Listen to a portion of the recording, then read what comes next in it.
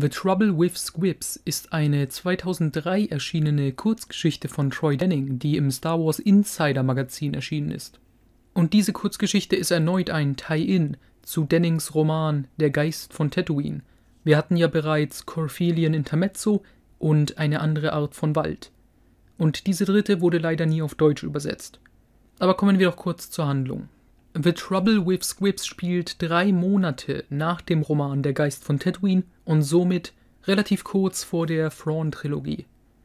Han, Leia, Chewie und 3PO sind auf einer größtenteils Vergnügungsreise auf der Welt Pavo Prime, wo sie von einem hiesigen Casinobesitzer einige alderanische Kunstwerke kaufen wollen.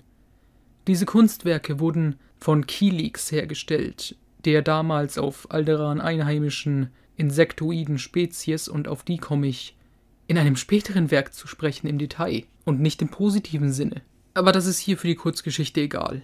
Jedenfalls auf dem Weg zu diesem Typen stoßen sie auf zwei von den drei Squibs, die wir schon aus der Geist von Tatooine kennen.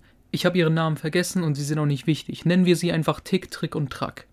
Also Tick und Trick sind dort, aber Track nicht.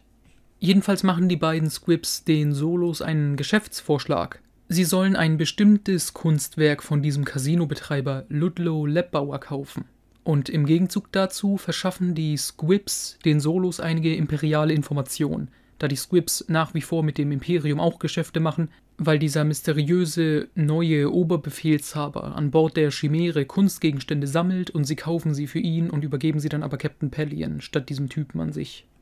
Und bei diesem Kunstwerk, das Han und Leia kaufen sollen, handelt es sich, wie sie dann feststellen, um den dritten Squib, der in Carbonit eingefroren wurde. Jedenfalls hat, bekommen sie es dann mit diesem Ludlow Lebauer zu tun und sie regeln die Sache da. Es wird ein bisschen geredet über halt Untergrundgeschäfte und Verbrechersyndikate und Han und Leia regeln die Situation und der dritte Squib kommt frei und Tick, Trick und Track sind wieder vereint.